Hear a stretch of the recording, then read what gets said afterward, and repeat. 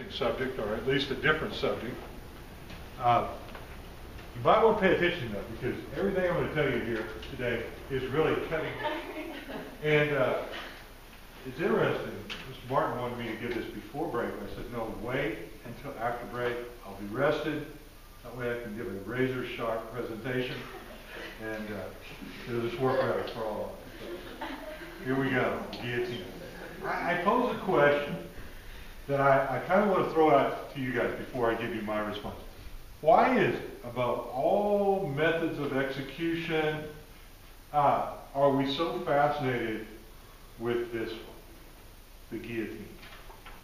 And, and I think I can support that fascination angle from uh, literature. Uh, if you think in terms of A Tale of Two Cities, the guillotine is always sort of lurking in the background. It, it, it's a major part, I think, of what pulls us into this novel. You know, we, we're worried about people.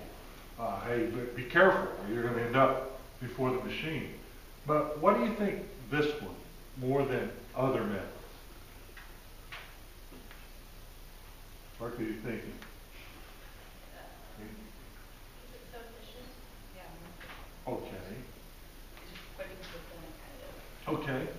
Any, anything else coming on? If you think about yourself, who you are, you don't really think, if someone presented your big toe to you, right? You don't instantly recognize, well, that's me, right? Uh, but if someone were to present your head to you somehow, instantly you know. It's our center of cognition, right? It's what we recognize as ourselves. We don't think of this appendage or that as ourselves, right here. And I think it, it carries a particularly strong psychological power over us to think about this machine. Tell me later if you agree with me or not. I thought a good place to start would be to put this in perspective. We're going to talk about the guillotine, how it came into being, why it came into being. We already talked about what executions were about prior to the guillotine. I would say probably hanging uh, from the Middle Ages forward was probably the most common method of execution. But you have to also think about this. Hanging is not, you watch these old westerns, you know, and you know, you sing the hangman's knot, and they open the trap door and snap, the neck is broken and it's all over. That was not the method of hanging that would have been utilized uh, right up until the 18th century. Uh, basically, it could take 15 or 20 minutes for you just to hang there before you would be fully unconscious and asphyxiated. It was a very long, drawn-out process, therefore very gruesome. Add to that, especially the English method of hanging and quartering. Can you tell me what that involved, Morgan? You know they cut the person in? Yeah.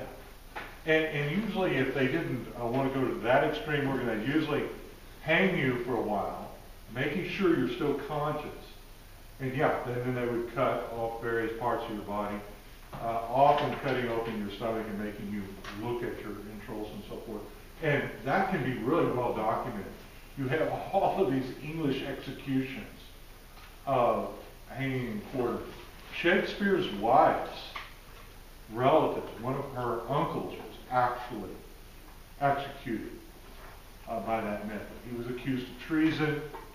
Largely his crime was being kind of pro-Catholic. And uh, reading that account, which comes down to it's pretty gruesome stuff. Uh, burnings, uh, you're familiar with that. Uh, fairly common. Uh, again, right up into the 18th century.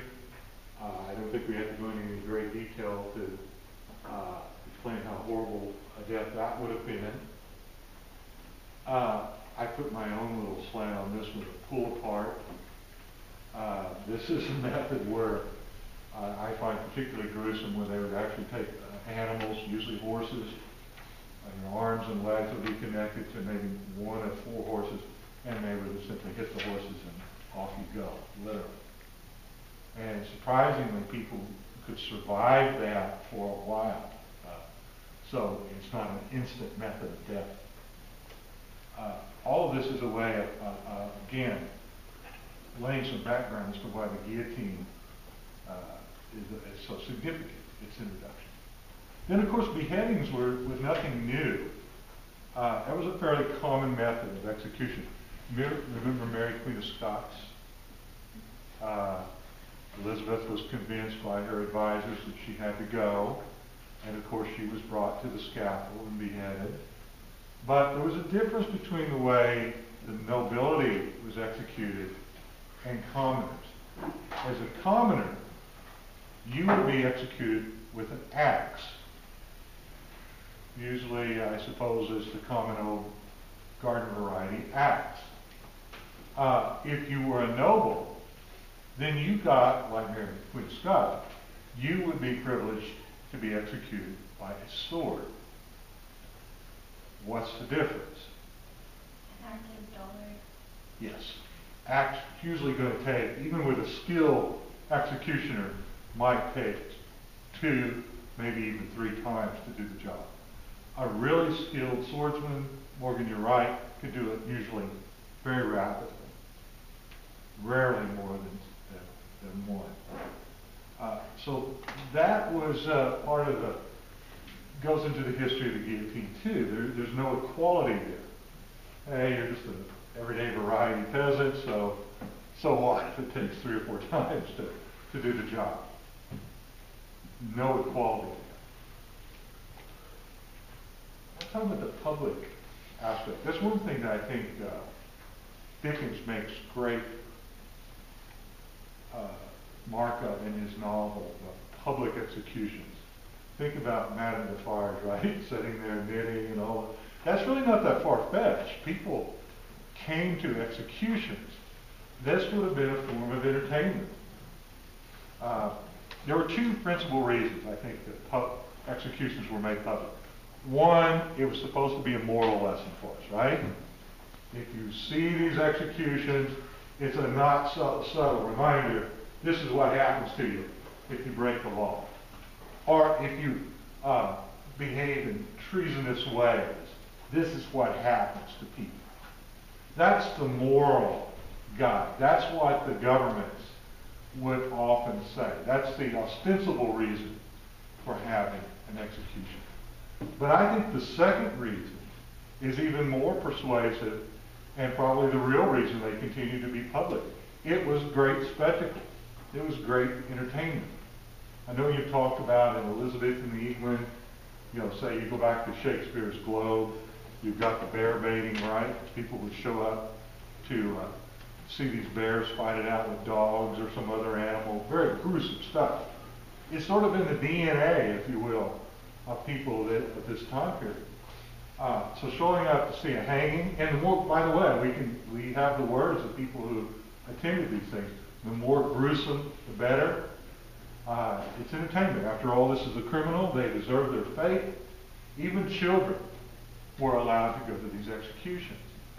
So when Dickens has people showing up at the guillotine, uh, this, this people uh, turned out by thousands often to witness these spectacles.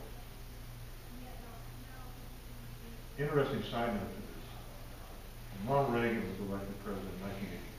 Don't get me wrong, I'm not going to put this on Ronald Reagan. I'm just saying there's an era where a lot of talk in that era about uh, let's clean up America, let's, let's uh, bring back the death penalty. Uh, and there was a real movement in the country during those years, not by Mr. Reagan, but by uh, people who, ultra conservatives who wanted to really make a point that we ought to go back to public executions. The idea if we could see someone uh, meeting their fate on our television screens, this would be a real warning to the rest of us not to, not to go there. And, and I remember that at the time thinking, wow, that, that's really right out of the old world. That's an old world concept that somehow this is going to make us better. Uh, in my view, uh, fortunately, that didn't get, get that far.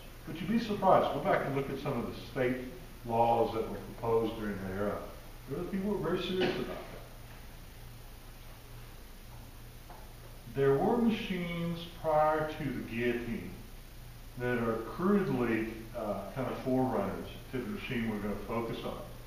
But uh, everything I could find about this, they were largely just taking an, an axe and suspending it by a rope or some other device, and it required people to cut the rope, and then it was supposed to descend from a height, and uh, there you would have uh, uh, the execution.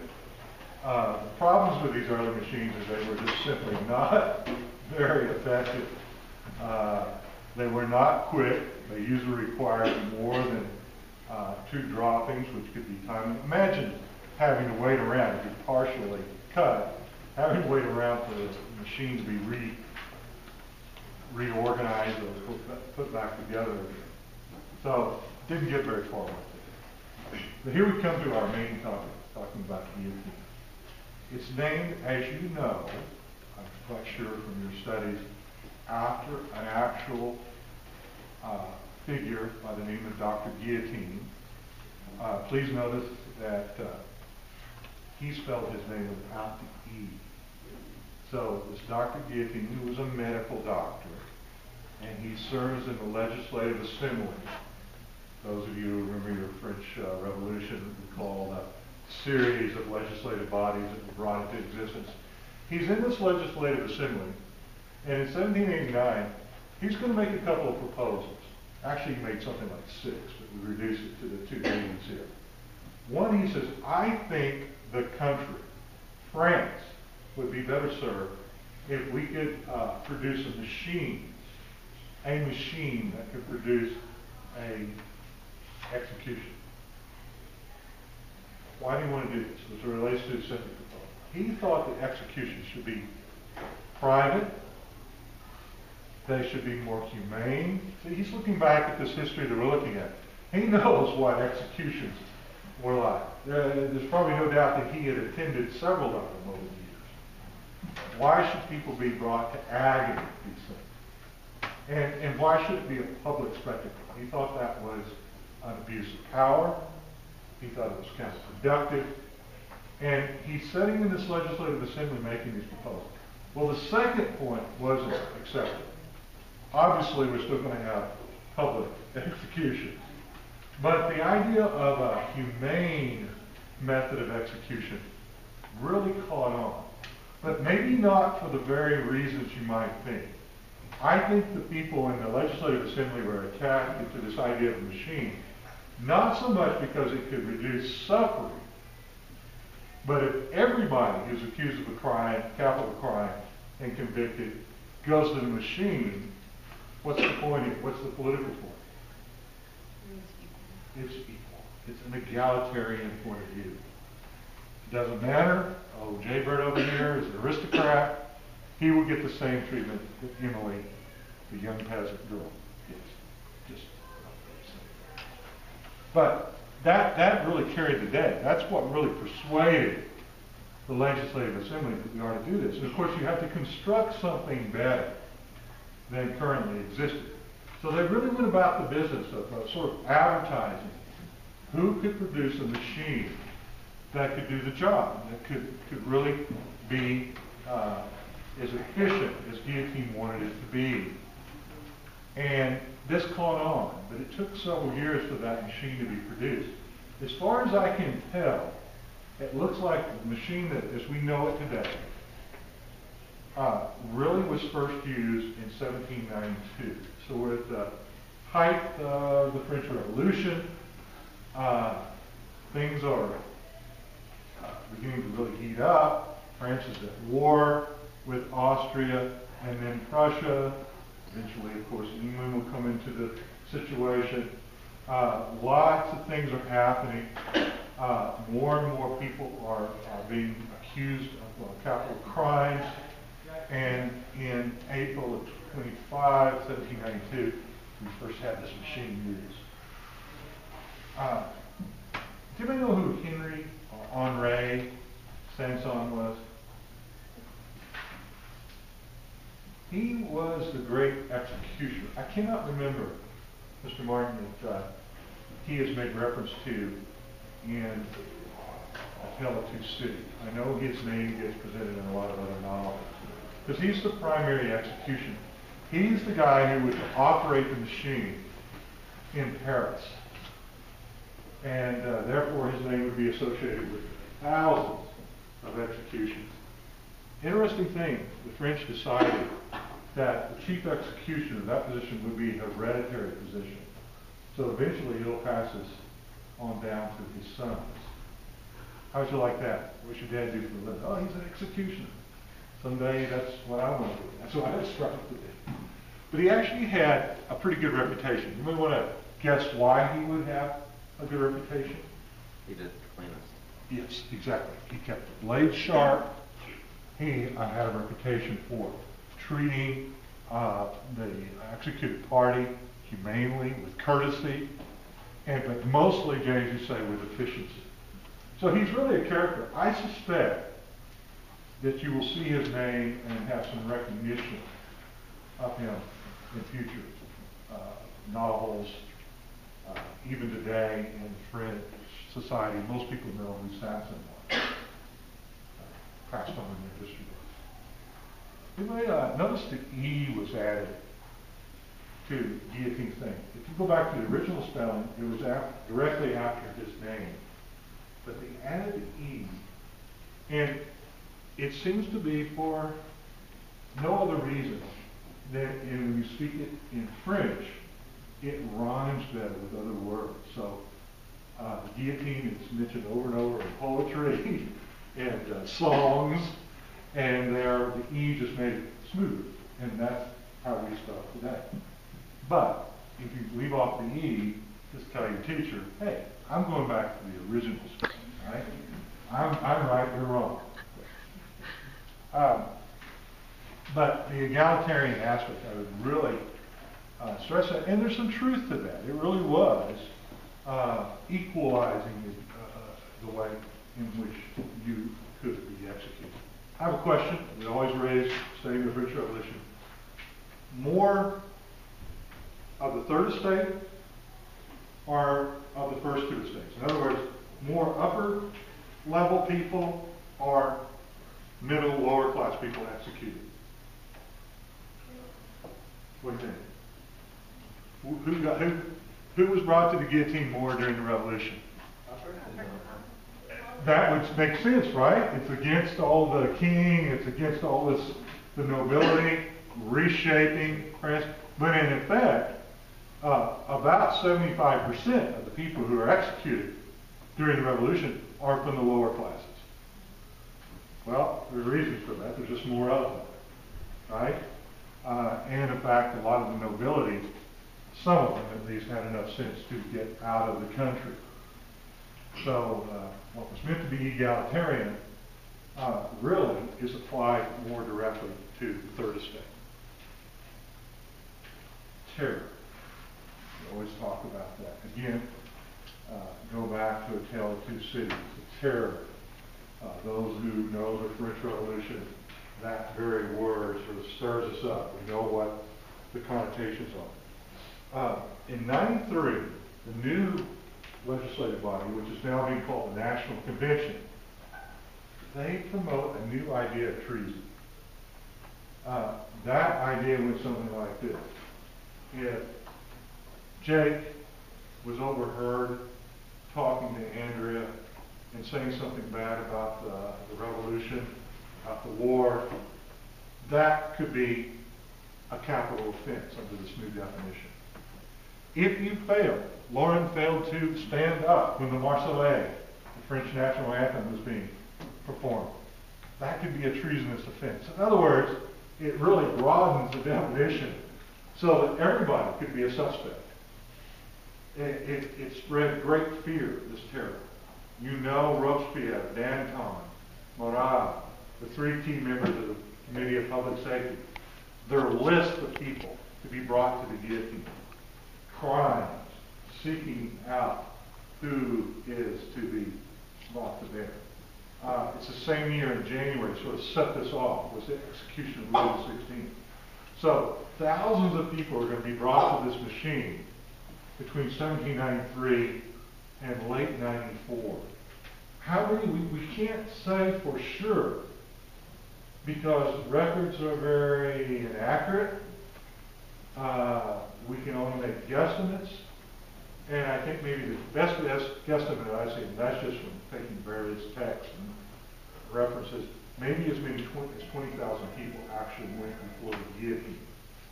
And keep in mind that this doesn't mean other means of execution were totally done away with. And they would do things like take people out in the middle of the lake and scuttle the boat. Uh, firing squad uh, was another method. So it's not just the guillotine, but the guillotine, of course, takes center stage. Efficiency. I would say no, because it's not particularly more efficient than other means. I mean, you can find all sorts of ways to execute people uh, that you might even argue that the, the firing squad might be a simpler way. Uh, so I don't think so. I think it just gets attached to this because when we think of the terror, we think of the French Revolution, this machine, as I said earlier, just sort of looms out there, won't go away. But I don't think it specifically made the terror. I think that's more of the psychology of this revolution. And I guess the other question, was it really? Uh, was it really more humane? Based on just what we're talking about, what do you guys think? Would this have been a better way to go compared to some of these other things? Compared to the old style of hanging, yeah. Yeah. Compared to being pulled apart, yeah. Yeah, I'm with you. I'll take It that. was so much better. I I don't want to lose I mean, this, uh, but, Yeah. because we believe that he went pretty quickly. There's all- all sorts of weird experiments during the French Revolution and later about do people keep their consciousness. Uh, one experiment one doctor did was he made it prearranged with a, a criminal. This is after the revolution. Uh, that okay, if you understand what I'm saying, you'll blink once for no, uh, two for a different response, etc. Or one for yes, I should say, two for a different response. And he claims that for about 20 seconds he was able to get a response from, from the head. That has no scientific basis.